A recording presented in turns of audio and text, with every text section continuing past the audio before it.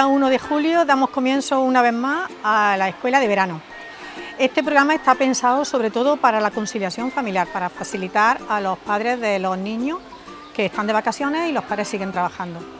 Este año la novedad va a ser la duración. Todos los años eh, la duración ha sido durante el mes de julio nada más. Este año se va a prolongar hasta el día 9 de agosto.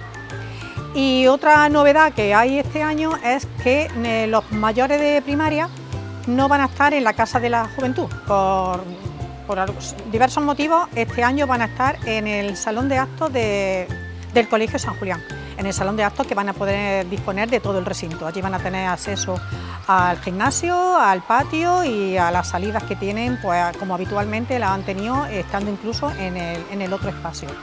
Los pequeños seguirán aquí, en la Casa de la Infancia, en Belén, y ya está, van a, van a tener, está programado que tengan muchas actividades de muchos tipos, ¿verdad Mari? Van a tener actividades lúdicas, sobre todo porque consideramos que los niños eh, ya han trabajado lo suficiente durante el año, entonces se merecen un descanso y esto va a ser para ellos eso mismo, unas pequeñas vacaciones. Entonces van a tener salida del cole, van a tener actividades de juego, van a tener bailes, van a tener actividades con la naturaleza, y van a tener cine, van a tener, en fin, todo lo que van a tener talleres de distintas clases, de higiene bucodental, de, de reciclaje, de un montón de cosas.